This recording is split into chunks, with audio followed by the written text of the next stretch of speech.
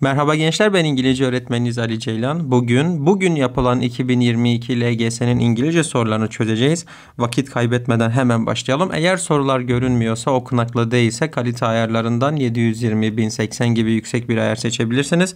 İlk soruyla direkt başlayalım. Yine her zaman yapmam gerektiği gibi önce soru kökünü okuyarak başlıyorum. Which two people talk about their own friendship with Sally diye sormuş. Bakın burada own kelimesi aslında anahtar bir kelime. Yani kendi demek. Bu quizlerimizde de çok defa yer alan bir kelime. Aslında bütün bu sorular quizlerimizde yer alan e, tarzda sorular. Hemen hemen e, tamamı oralarda geçiyordu. Diyor ki hangi iki kişi, hangi iki insan, which two people talk about their own friendship with Sally.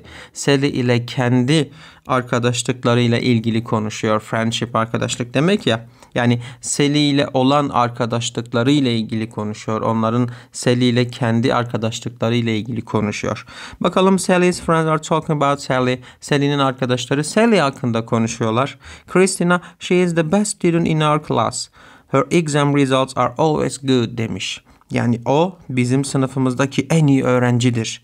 Onun exam, sınav, yazılı, yazılı result, sonuç demek sonuçları daima iyidir. Arkadaşlıkları ile ilgili konuşmamış. Onun başarısı, achievement, success, success başarısıyla ilgili konuşmuş. Helen'a bakalım. We have similar interest and we like spending time together. Diyor ki bizim benzer ilgilerimiz var ve biz birlikte vakit geçirmeyi severiz. Dolayısıyla kendi arkadaşlıklarıyla ilgili konuşmuş. Similar benzer. Yani şıklarda Helen olmak zorunda. Sue, we get on well and share our secrets with each other diyor. Each other birbirine birbirini diyor. Biz birbirimizin sırlarını paylaşırız ve we get on well. Get on well iyi geçinmek demek. İyi geçiniriz, anlaşırız. Bu da arkadaşlıklarıyla ilgili konuşmuş. Dolayısıyla cevabımız çıktı aslında Helen and Sue. Amanta'nın da ne dediğine bakalım. She is very good at physics and chemistry. O fizik ve kimyada çok iyidir. Bu da onun ders başarısıyla ilgili bir şey. Arkadaşlıklarıyla ilgili değildir. Hemen ikinci soruya bakalım. Yine önce soru kökünü okuyorum. According to the information above, what should you say to the customer to learn more about his problem? Diyor ki yukarıdaki bilgilere göre customer, müşteri, müşteriye onun problemi hakkında daha çok şey öğrenmek için ne dersiniz diyor, ne söylemelisiniz? Bakalım. You work at the call center of a company. Company şirket demek. Diyor ki siz bir şirketin call center yani çağrı merkezinde çalışmaktasınız. You're talking about you're talking to a customer on the phone. Telefonda bir müşteriyle konuşuyorsunuz. He has a problem with the device that he bought. Bought buy kelimesi yani satın almak kelimesinin ikinci ve üçüncü hali. O satın aldığı bir cihazla ilgili device bir cihazla ilgili bir problemi var. Aslında burayı ne kadar anladığınızın çok da bir önemi yok. Kısacası ona problemle ilgili daha fazla detay verebilmesi için bir soru sormanız lazım. Problemi daha iyi öğrenmeniz için bir soru sormanız lazım. A seçeneğinde ya da bir şey söylemeniz lazım. A seçeneğinde we'll call you back when we solve your problem. Diyor ki biz when we solve your problem probleminizi çözdüğümüz zaman We'll call you back. Sizi tekrar arayacağız. Hayır problemle ilgili daha fazla bir şey öğrenmek için söylenebilecek bir şey değil bu. Please call us if you have a problem again. Again tekrar demek. If eğer eğer tekrar bir problem olursa lütfen bizi arayın. Bu da değil. Please give me some details about the problem. Lütfen bana problemle ilgili biraz detay veriniz diyor. Cevabımız çıktı. Give some details. Biraz detay veriniz diyor. We'll solve your problem as soon as possible. As soon as possible. Mümkün olur olmaz en kısa zamanda derhal diyor. En kısa zamanda probleminizi çözeceğiz. Bu da olmaz. Problemle ilgili daha fazla şey öğrenmemizi istiyordu soru. Hemen üçüncü soruya bakalım. Yine önce soru kökünü okuyoruz. You posted a comment to say that you really like the photo. Diyor ki siz fotoğrafı gerçekten sevdiğinizi söyleyen bir comment, yorum paylaştınız diyor. What was your comment? Sizin yorumunuz neydi? Şimdi yukarıya dönelim. Şurada bir ne var? Bir fotoğraf var. An amazing day. Muhteşem bir gün diye yazmış fotoğrafa. Fotoğrafı paylaşan kişi. Şurada da yorum bölümü var. Siz bu yorum bölümüne fotoğraftan hoşlandığınızı belirten bir şey söylemeniz e, gerekiyor. Bakalım A seçeneğine. I think this is one of your greatest photos. Diyor ki bence bu senin en muhteşem fotoğraflarından birisi. En harika fotoğraflarından birisi. Ve bu yorum ile gerçekten fotoğrafı sevdiğinizi söylemiş oluyorsunuz. Cevap çıktı bile. Eğer ben sınavdaki bir öğrenciysem ve zaman sınırım varsa, zamanım yetmiyorsa diğer soruları çözmeye, diğer şıkları okumadan direkt geçebilirim. Çünkü A seçeneği çok bariz. B'ye bakalım. I have seen lots of similar photos. Diyor ki ben çok benzer fotoğraflar gördüm. Bakın I have seen burada perfect tense var. Fiilin üçüncü hali var. Şimdiye kadar çok benzer fotoğraflar gördüm. Yani pek de sıra dışı değil. Gayet sıradan bir fotoğraf denmiş oluyor. You look scared in this photo. Diyor ki sen bu fotoğrafta scared yani korkmuş görünüyorsun. Burada da herhangi bir beğeni ifadesi yok. You, you have shared this photo many times ve sonunda ünlem işareti de var. Diyor ki sen bu fotoğrafı çok defa paylaştın. You have shared this photo many times. Çok kez paylaştın diyor many times. Bu da herhangi bir beğeni değil bilakis sitem var biraz. Dörde bakalım yine önce soru kökünü okuyorum. According to the information about which of the following band's concert ticket is Jane going to buy for Susan? Diyor ki yukarıdaki bilgilere göre aşağıdaki grupların kon konserlerinden diyor hangi grubun aşağıdaki hangi grubun konserinin biletini Jane Susan için alacak? Hemen yukarıya döndüm. Bakalım. Şurada diyor ki Jane wants to buy a concert ticket for Susan for her birthday. Diyor ki doğum günü doğum günü için Jane Susan için bir konser bileti satın alacak. She reads Susan comments on different bands in her blog. Diyor, o yani Jane Susan'ın internet sayfasında, kişisel internet sayfasında, blogunda farklı band, gruplar için yorumlarını okuyor. Susan'ın kendi yaptığı yorumları okuyor. İlk bakalım Susan comments demiş yani Susan'ın yorumları World of Rock. Bu grup için ne demiş? My best friend said nice things about this band, but I don't think I'll listen them listen to them again. Diyor ki benim arkadaşım, benim en iyi arkadaşım bu grupla ilgili nice things, hoş şeyler söyledi. But I don't think I'll listen to them again. Ama ben onları tekrar dinleyeceğimi düşünmüyorum diyor. Yani her ne kadar arkadaş o şeyler söylemişse bile Susan beğenmemiş. Rap Park bu grubun bu grup için ne demiş? I have listened to them many times and I think they're great. Ben onları pek çok kez dinledim ve bence onlar harika. Cevap çıktı bile Rap Park ama bakalım başka var mı? Jazz Boys için ne demiş? Their music is not very good. Onların müziği pek iyi değil. Çok iyi değil. They should improve themselves. Onlar kendilerini geliştirmeliler. Hani improve eş anlamlı olarak çok defa da quizlerde vardı. Develop, improve, develop, gelişmek, geliştirmek. Themselves yine kendileri diyor onlar kendilerini geliştirmeliler. The concert was boring, their music is unbearable. Diyor konser sıkıcıydı ve onların müziği katlanılmazdı. Bunu da Pop Time grubu için söylemiş. Cevabımız Rap Park olur dolayısıyla. Hemen sonraki soru. Which of the following cannot be the teacher's question? Diyor hangisi öğretmenin sorusu olamaz?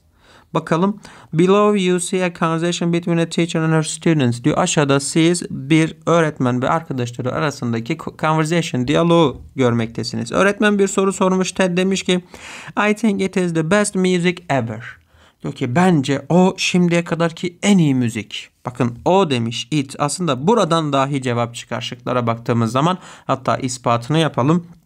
A seçeneğinde What's your favorite type of music? Senin favori müzik türün nedir? sorusuna cevap o en muhteşem müziktir denemez. O derken bir müzik türünü kastetmiş olması lazım. Önceden o zamirini karşılayan bir şey olması lazım zaten. Dolayısıyla cevap çıktı bile A seçeneği hiç uymaz. B'ye bakalım. What's your opinion about rock music? Senin rock müzikle ilgili düşüncen nedir? Şimdiye kadarki en iyi müziktir. Olur. What do you think about jazz music? Jazz müzikle jazz müzik hakkında ne düşünüyorsun? Şimdiye kadarki en iyi müziktir. Olur. What can you say about pop music? Pop müzik hakkında ne diyebilirsin? Şimdiye kadarki en iyi müziktir. Olur. Hatta diğer kişilerin cevaplarına da bakalım. I can't say that I like it. Yok onu beğendiğim, onu beğendiğimi söyleyemem. Onu hoşuma gittiğini söyleyemem onun. Yine o var. It makes me feel happy diyor. O beni mutlu yapar. O derken yine önceden öğretmenin sorduğu soruda bir müzik türü geçmiş olmak zorunda. I can't stand it, it is unbearable. Ona dayanamam diyor. Katlanılmaz. Evet sonraki soruya bakalım. Yine önce soru kökünü okuyalım. Which of the following information is not in the text above? Diyor ki aşağıdaki bilgilerden hangisi yukarıdaki tekste yoktur? Every year thousands of people from all over the world come to Rome, Italy to attend the Pizza Vita Festival. Diyor ki her yıl binlerce insan dünyanın her tarafından İtalya Roma'ya Pizza Vita Festival'e katılmak için gelir. This is one of the biggest food festivals in the world. Bu dünyadaki en büyük yiyecek festivallerinden birisi. In the festival, you can eat many different types of pizza, make your own pizza, enjoy folk music and buy local souvenirs. Diyor ki bu festivalde siz many different types of pizza, pek çok farklı türde pizza yiyebilir.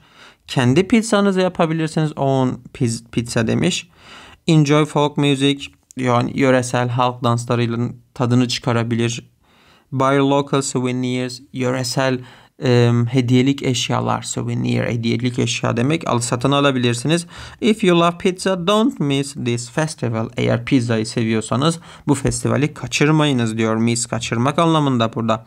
Şimdi hangisi yer almıyor? The place of the festival, festivalin yeri. Rome, Italy. Cevabımız var. Sonra the name of the festival, festivalin adı. Pizza Vita Festival. Bunun da adı var.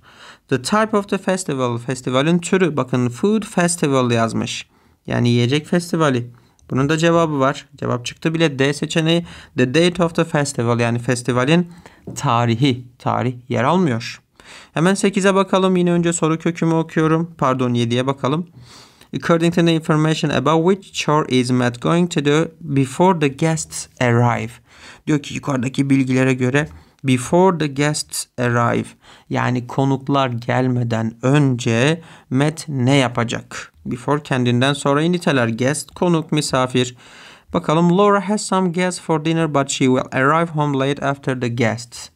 Diyor ki Laura akşam yemeği için bazı misafirleri sahip yani misafirleri var diyor akşam yemeğine misafirleri gelecek ama o after the guests konuklardan sonra eve geç gelecek. Yani onlardan sonra geliyor misafirlerden sonra. So she asks her husband Matt to prepare the dinner before the guests arrive. Bu yüzden diyor o kocası Matt'ten konuklar gelmeden önce prepare the dinner akşam yemeğini hazırlamasını istiyor. Dolayısıyla Matt ne yapacak konuklar gelmeden önce? Vacuum the floor yani yeri süpürecek elektrikli süpürgeyle. Hayır. Some meals. Biraz yemek pişirecek. Cevap çıktı.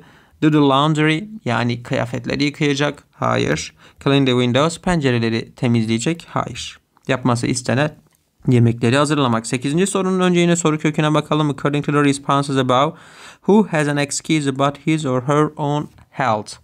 Response, answer, reply, cevap, cevaplamak diye çok defa görmüştük.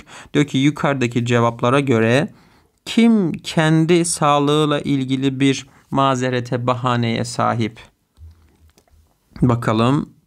Önce şurada ne demiş? Tina is having a birthday party tomorrow. Tina yarın bir doğum günü partisi düzenliyor, yapıyor. She invites her friends but four of them have excuses and they can't go to the party. Diyor ki arkadaşlarını davet ediyor ama onlardan dördünün bahanesi var ve partiye gidemeyecekler. And ne demiş? Thanks but my cousins who are doctors are visiting us. Diyor teşekkürler ama doktor olan kuzenlerim bizi ziyaret edecek. Kendi sağlığıyla ilgili bir şey yer almıyor. Burada who'yu kim diye çevirmiyorum. Burada bir relative clause var. Yani doktor olan kuzenleri birazcık aslında seviyenizden bir tık zor bir cümle yapısı olabilir. Ama bu şekilde sormayı tercih etmiş Milli Eğitim. Jess ne demiş? Tabi bunun bu şekilde bulunması yine de sorunun çözümüne engel değildir. Soru, soruyu pek de zorlaştırmıyor açıkçası. Çünkü cevap çok bariz hemen karşımıza çıkacak. Thanks for your invitation but I am going to the hospital to visit my grandparents who is ill. Yine who burada aynı şekilde kullanılmış. Diyor ki hasta olan büyük babamı ziyaret etmek için hastaneye gideceğim. Öncesinde de diyor ki davet için teşekkürler. Terry ise I am sorry but I am ill. Bakın buradan bile çıkıyor. I am sorry but I am ill. Diyor üzgünüm ama hastayım. Kendi sağlığıyla ilgili bir şey var. I have an appointment with my doctor. Doktorumla ilgili, doktorumla bir appointment, randevum var. Cevap çıktı. Yani Terry. Amy ise I'm afraid I can't come. Korkarım gelemem. I'm going to the hospital to conduct a survey for my project. Diyor ki ben hastaneye projemle ilgili bir araştırma yürütmek, uygulamak için gideceğim. Bu da kesinlikle uymuyor. Conduct a survey. Bir anket yürütmek de olur. Araştırma anlamı da var survey'in. Hemen sonraki soruya bakalım. According to the Jones table, which of the following was not possible? Diyor ki John'un tablosuna göre aşağıdakilerden hangisi mümkün değildi? Possible, mümkün demek. John did research on important inventors and their lives. Diyor ki John önemli mucitler ve onların hayatları ile ilgili bir research araştırmada bulundu. Then he filled in the table below. Sonra aşağıdaki tabloyu doldurdu. Bakalım. Inventor, mucit demek. Invented, icat etti demek. Bakın invent fiili var. Yani hangi mucidin neyi icat ettiği ve ne zaman öldüğü yazıyor daha iyi. Ölmek demek. Bakalım Richard Trevithick var. Graham Bell, Guglielmo Marconi, Philo Farnsworth, Conrad Zuse. Bunların neyi icat ettiği ve ne zaman öldükleri yer alıyor. Şimdi şıklardan ilerleyeyim. Hemen A seçeneğinde Graham Bell, went, Graham Bell went to different places by train. Graham Bell farklı yerlere gitti trenle. Bakın Graham Bell ne zaman ölüyor? 1922'de. Trenin icadı 1804'te. Dolayısıyla gitmiş olabilir. O daha hayattayken tren zaten icat edilmiş. Guglielmo Marconi played games on his computer. Guglielmo Marconi bilgisayarında oyunlar oynadı. Bakıyorum 1937'de vefat etmiş. Bilgisayarın icadı ise 1938 yani bu mümkün değildir. Cevap çıktı bile. Sonra Philo Farnsworth listened to music on the radio. Philo Farnsworth radyoda müzik dinledi diyor. Bakıyorum ölüm tarihi 1971, radyonun icadı 1896. Evet bu mümkündür. Conrad Zuse talked to his friend on the phone. Conrad Zuse telefonda arkadaşlarıyla konuştu. 1995'te vefat ettiğini görüyorum. Telefonun icadı 1876. Evet konuşmuş olabilir. Bu da possible yani mümkündür. Son soruya bakalım. According to the information above, which of the following courses should Jenny and Emilia choose? Yukarıdaki bilgilere göre aşağıdaki kurslardan hangisini Jenny ve Emilia seçmeli? Choose seçmek demek. Jenny and Emilia are students in Istanbul. Jenny ve Emilia diyor İstanbul'da öğrenciler. They want to go to a cooking course together. Birlikte bir yemek pişirme, aşçılık kursuna gitmek istiyorlar. Jenny can attend the course on weekdays. Jenny hafta içi katılabilir kurslara diyor weekdays. Dolayısıyla sırf bu bilgiden yola çıkarak C seçeneğini eleyebilirim. Çünkü cumartesi ve pazarmış burada kurslar. Emilia is busy only on Fridays. Sadece cumaları Emilia busy meşguldür diyor. Dolayısıyla cumaları gidemez. Cumaların bulunduğu şık var mı? Var. D seçeneği de gitti. Jenny has 500 Turkish liras and Emilia can't pay more than 400 Turkish liras. Jenny'nin diyor 500 lirası var ve Emilia 400 liradan more daha fazla ödeyemez. Can't pay. Dolayısıyla 400 lirayı geçmeyecek bir kurs olması lazım. B seçeneğinde 500 lira. O geçiyor. Cevap çıktı bile. A seçeneği. Evet böylece soruları çözmüş olduk. Umarım faydalı olmuştur. Ama şunu unutmayın notlar, sınavlar hayatımızda önemli olsa da notlarınızın, sınavlarınızın, bunların sonuçlarının nasıl olduğu ya da olacağından bağımsız herkes, hepiniz çok çok değerlisiniz. Bunu unutmayınız, moralinizi bozmayınız. Yine daima aklın ve vicdanın rehberliğinde doğruyu, gerçeği, iyiyi ve güzeli hedeflemeye çalışınız. Umarım bu bu süreç siz bu süreci rahatlıkla atlatırsınız ve önünüzde çok daha güzel, çok daha aydınlık günler olur. Evet, kendinize iyi bakınız. Görüşmek üzere. Take care and always chase your dreams.